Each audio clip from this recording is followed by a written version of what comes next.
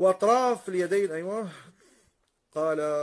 إلا أن تكون عجوزا أو سوداء أو نحو unless she is an old woman or black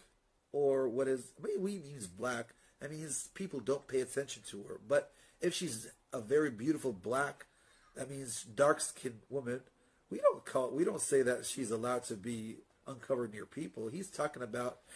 maybe maids or uh, or uh, slaves in the days of slavery or stuff like that. But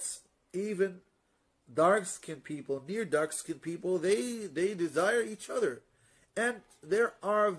dark skinned women that are very beautiful to other people. So that, that's not a actually the, what the thing is to say anyone who is uh, that's what he says here in the comment- commentary